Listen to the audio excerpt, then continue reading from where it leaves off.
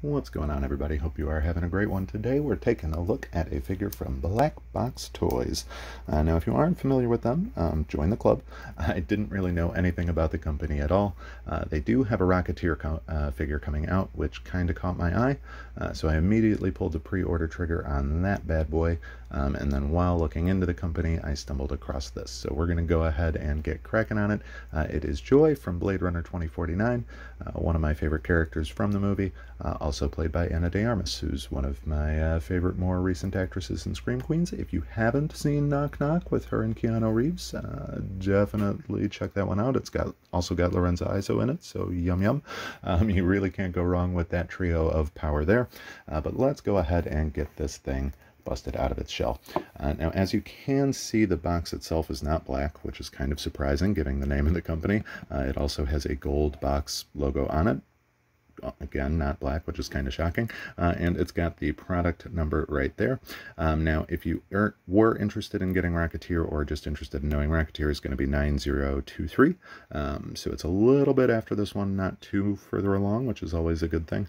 Um, this is kind of my trial figure. I just sort of wanted to get one to see what the company was all about. Um, and it, it looked like a winner for the most part. Uh, now, this is the 2.0 version. The original one uh, was just a head sculpt and a uh, outfit. Um, so this one actually do, does give you the full uh, figure here. Now I will say you can probably notice this piece of plastic right here. I did open her up earlier. She had plastic wrapped around her legs, so I went ahead and ripped that up. Um, but I just wanted to make sure that she was the uh, the figure that I had ordered. Uh, since there wasn't any decoration on the box itself, I was kind of concerned that something crazy would happen and I'd open it and it would be like uh, something I didn't want. Um, so let's go ahead, we'll get her out of here. Um, now there are a couple interesting things that I can say right off the bat, um, but we'll get into those uh, as we go through her here. Um, now, I'm not entirely sure why I didn't take the plastic off her head. Um, like I said, I did remove it from her legs, uh, but there we go. Get rid of that so she can breathe. Um, she should hopefully stand up pretty easily, fingers crossed. Maybe we'll just uh, balance. You can do it. Maybe she can't. All right, so a little work. She's standing. That's the important part. Uh, also in the box, you do get an extra hand sculpt, which we will hopefully pop right out. Kablam. It's nothing special. It's basically just a generic uh, Phicen hand. Uh, and then you get the gun, which we'll take an up-close look while I pop it out of here, if I can pop it out of here. Success. Alright, so we'll take a quick look at this and then we'll go into the figure clothing and both of the head sculpts. Uh, the gun, if I can zoom in, is actually pretty cool. Uh, they did a good paint job on it for the most part. Um, really no complaints there. Uh, a lot of good detailing on it. They do have a little red uh, red safety button there, which I find fun. Um, really just overall a, pretty solid paint job. Uh, it is plastic. Um, would have been cool if it was, you know, metal or something like that, but not a big deal by any means. Uh, no moving components, which doesn't really need them. Um, not too big of a deal. Uh, and it does look like it'll pretty easily fit into this hand, fingers crossed. Maybe.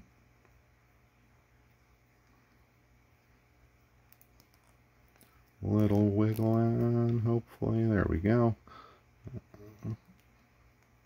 Interestingly, she's not going to be able to get her finger on the trigger, uh, but close enough, right?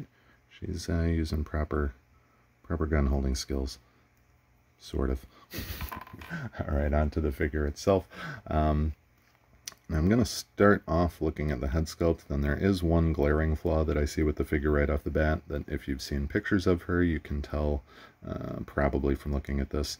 I didn't really mean to have that camera view there. Um, I guess that was a subtle uh, or not so subtle hint. Um, her hair is going to need a little playing with. I'll probably have to grab a safety pin or a toothpick and just kind of fluff that up a little bit. Um, but honestly, for the head sculpt, pretty good job. Uh, I really don't hate this one at all. Um, like I said, other than the hair needing a little bit of work. Um, but again, that's something that will fluff up in a little bit, and like I said, I can just kind of play with it and tease it out a little bit, so that's not too big of a problem there at all. Um, they did a good job of capturing her likeness for the most part. Um, honestly, I'm more excited about the uh, the blue-haired one, um, which we will take a look at shortly. Uh, but really, all things considered, not terrible. Like I said, it does look pretty bad just because the way the hair is.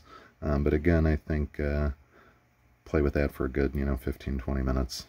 Probably get it looking okay. Um, so that's not bad there at all. Now on to the, uh, the immediate issue that I noticed. Um, she's actually got a black shirt uh, on the figure. I'm not sure why they have the white one there. Um, it might be like a full unitard. I'm not entirely positive. Uh, they do include her leggings and the black turtleneck separately. Um, so I'll go ahead and plop that on. Uh, but it did seem like a strange choice. I don't know why they didn't just have at least the shirt on. Um, leggings I can somewhat understand, I guess, uh, but definitely seemed a little weird. Um, now, this plastic coat here is garbage. I'm just going to say it right off the bat. Um, the material feels basically the same as like the plastic that would be um, on top of like a DVD or a video game cover. Um, so like if you can imagine, you know, holding a DVD case, open it up, that really thin plastic layer on top, that's pretty much what this is. Um, so I'm genuinely not too thrilled about that. Um, also, color-wise, it looked more like a radioactive kind of lime greenish uh, in the actual photos. Um, this is definitely more just kind of a, a, base yellow. Not the end of the world. I'm not terribly upset by that. Um, I'm more not pleased with the uh, uh, the quality of it. Um, that being said, it doesn't look bad. I mean, I'll, I'll give it credit for there. I'm going to cover her up a bit because it's clearly cold in my basement. Um, just a bit of a letdown in that regard. Now, it is a standard Phicen body, so it's going to be seamless throughout. You get the nice solid knee joints, which, of course, is awesome. Uh, the skirt feels like genuine. and might might be pleather, but it actually feels like leather. Um, to be honest, I, am not positive, uh, but good work on it, good design. Um, I'd say they did pretty good on that. does have a Velcro opening. And if you heard that, that was one of her shoes falling off, which I will take a look at in just a moment, because um, that was kind of one of my other sort of issues with uh, this figure. I actually can't tell if that's Velcro. Yeah, it is. All right. Now, as I mentioned, the shoe just fell off. Um, she doesn't actually have feet which I found very strange. She's got the foot pegs in there, but there's no actual foot that I can tell in the shoe. I might be wrong about that. Um, I've tried looking down there. Um, I'm pretty sure they just pop right into a joint at the bottom of the boot. Again, I could be wrong on that. Um, wouldn't be the first time, won't be the last. Uh, but I thought that was just kind of interesting. Um, not the end of the world by any means. She doesn't really need feet, as weird as that is. Um, the boots themselves do have a really cool look to them. They give them these neat kind of clear plasticky straps, which just kind of adds to the, the neat cyberpunk look of her. Um, I honestly don't remember if she had these in the movie. It's been a little while since I've watched it, and I don't pay a ton of attention to footwear, uh, but I do think these look pretty rad. Um, they're laced up, which is cool, and then the plastic straps with the little metal buckles, mm, I dig them. Now, as I said, she does have leggings, which will end up needing to be put on. Uh, so I'll play around with that a little bit later. But for now, I'm just going to hope that she stands up a-okay, maybe. Good enough. And I want to take a look at this, um, which is the blue hair sculpt. This is actually the one that I really liked about the figure and kind of the reason that I pulled the trigger because um, I just think they knocked this out of the park, especially with the eyes. Um, I'm fiddling with her hair a little bit now because it is kind of messy. Um, again, hair on this one I'll kind of have to play with a little bit too, but probably not as much. But there you have her in all of her glory. Um, this is when she's like the giant hologram looking down on Agent K and talking to him.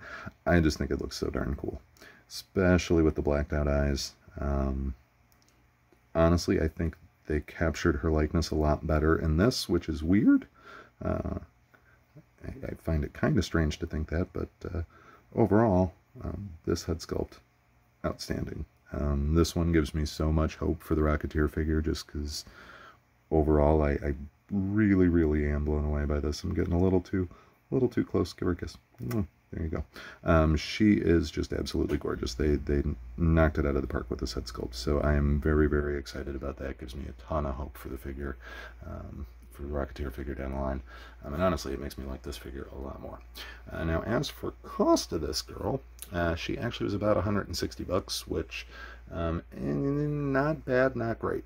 Um, if you think about it like this, Phicen body is going to be about 60 to 70 bucks, so you know that's almost half of the price there.